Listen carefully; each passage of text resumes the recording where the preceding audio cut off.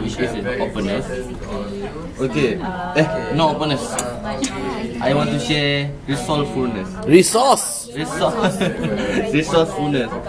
Okay, resourcefulness is uh, to have a confident, passionately seek out, always seek out for the opportunities to innovate. Innovate. Uh, for example, we took uh, one situation at the mainline. One, one situation at the mainline.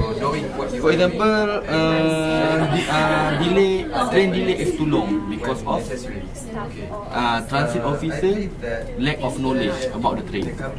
So as a staff, we must know we should always innovate the system. We put uh, some applications, for example, some application for them to refer, Refer.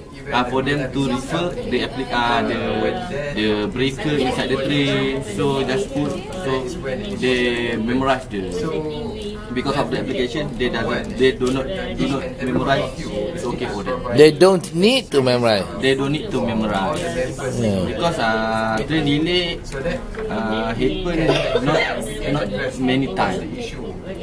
Okay. Uh, so therefore, I urge you all to all.